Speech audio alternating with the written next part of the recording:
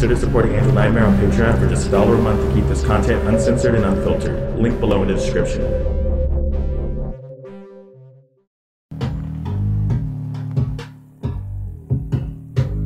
I don't fuck with anybody unless them niggas weird as fuck.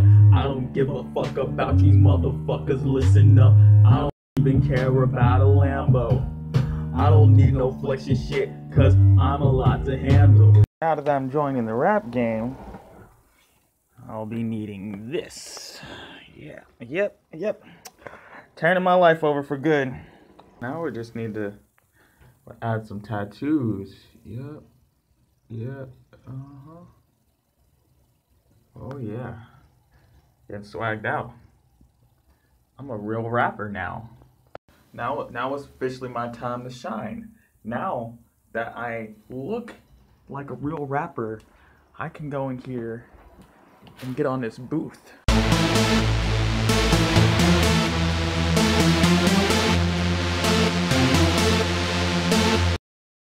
Greetings, beautiful creatures. My name is Angel Nightmare, and welcome to the Friday Nightmare Show. So, unfortunately, this is going to be a short show. This has been a really rough week. I'm preparing for finals. I've had a lot of papers to write. Thankfully, the winter semester is almost over. Next week is still going to be kind of rocky with the uploads because that is finals weeks and I got a project to finish and a paper to finish. I don't think I'll take this many classes in wintertime ever again. I thought about doing a summer semester, but I don't know, man. I think I'm just going to I'm going to skip out the summer semester. I'm already this is it's just this is hard. So the first thing we're going to talk about is Oprah is not running for president.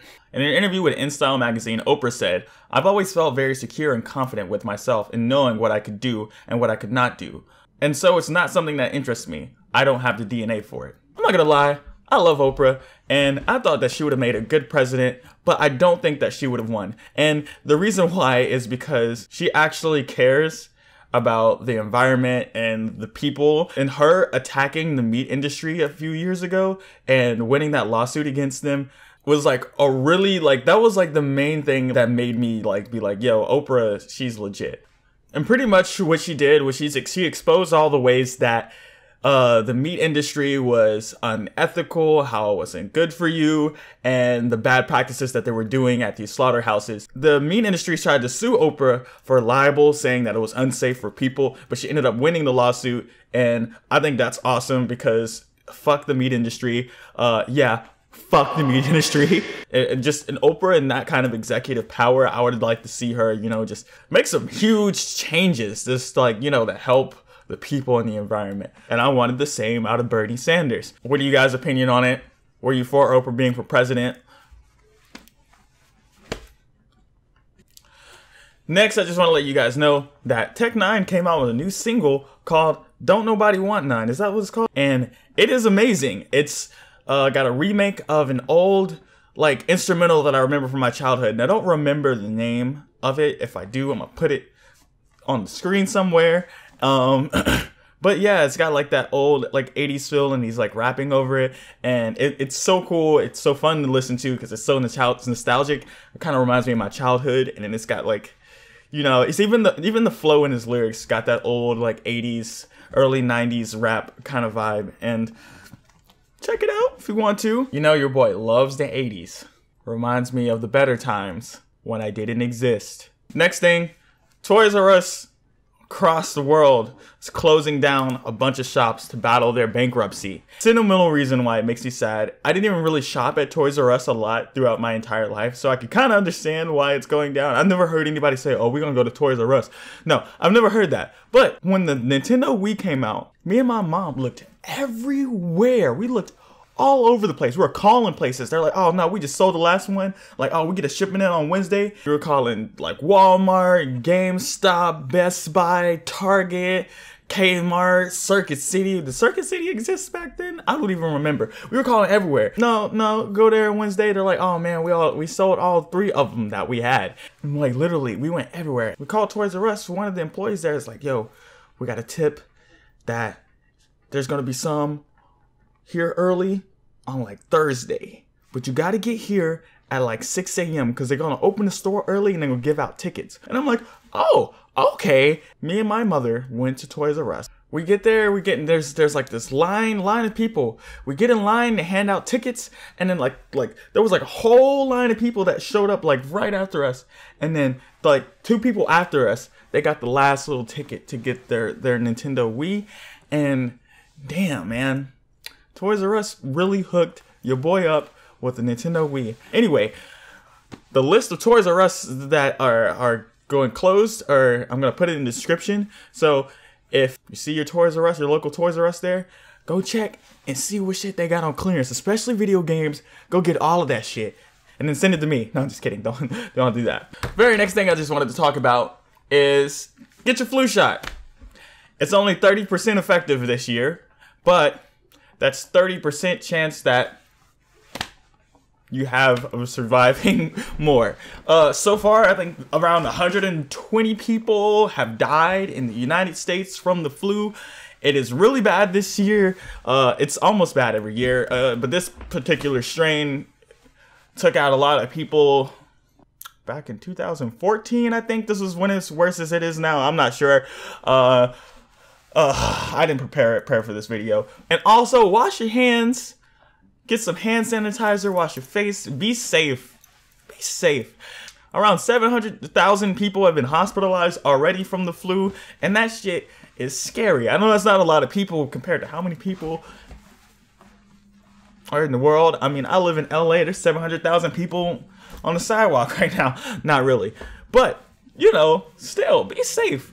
Uh, there's still a chance. Get the flu shot, wash your hands every three seconds, the hand sanitizer. Don't rub your eyes and touch your nose and your face after doing some crazy shit, touching some shit. So get you some hand sanitizer, some hand sanitizer. Not sponsored. Now we're just gonna look at some comments. I didn't get very many this week because I didn't upload very much this week. We're just gonna look at a couple. I think I'm gonna limit myself to five because I gotta get this video done. I gotta edit this. Ambrose J says, inspiration. I want to change my look. Like I don't want to be the way I am because I don't feel like myself, but I feel like just I just can't change my appearance because people will just go crazy and be really rude about it. I, I'm going to talk about this a lot on this channel, but you only have one life to live, theoretically. I feel there's something that really inspires you in your life, something that you really want to attempt or do, that you should do it because you want to. You have to keep in mind that if you have internal acceptance, you don't need external acceptance. You don't have to change who you are or conform to something just so you don't offend someone else or you're not who they want you to be, pretty much. You need to be yourself. You need to be fearless of doing different things. I know it's really easy to like to be pressured by society to do and say what most people want you to do, but you have to remember at the end of the day, every every day when you lay down and go to sleep, you're you're the only one that's there with your thoughts. You're the only one that's gonna be happy about what you've done in your life. You have to look back on your life and you have to you're gonna have to ask yourself, did I enjoy my life because it's what I wanted to do, or because I was trying so hard not to to step on the toes of the people around me who actually ended up not really mattering in the first place. Because a lot of people are going to come and go in your life at all. And if you just try to like form fit to what they want you to be and then they just leave out of your life and now you're stuck with all this like like suppression of this idea that you were supposed to be like like this because this person told you to you you just have to keep in mind that none of that shit really matters you got to be yourself unapologetically, wholeheartedly, and just don't be afraid. I, I, that's all I have to say. Minnie Yggdrasil says, I know it's a boring trad goth go-to, but would you consider doing a Siouxsie Sioux look? Yes, I will actually, and um, I'm gonna do like an ex extreme versions of it and like normal versions of it in the future. Those are like kind of plans that I have in the back of my head for like makeup videos.